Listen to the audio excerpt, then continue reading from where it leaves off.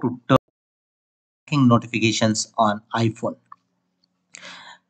And to enable tracking notification, go to settings.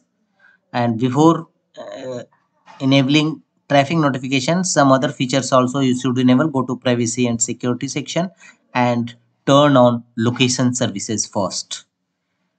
Enable location services. Uh, scroll down and go to also turn on find my phone and significant locations. Both features should be turned on. Thereafter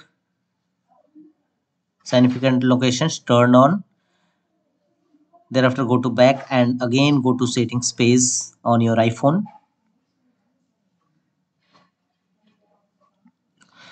And go to notifications tap on it and here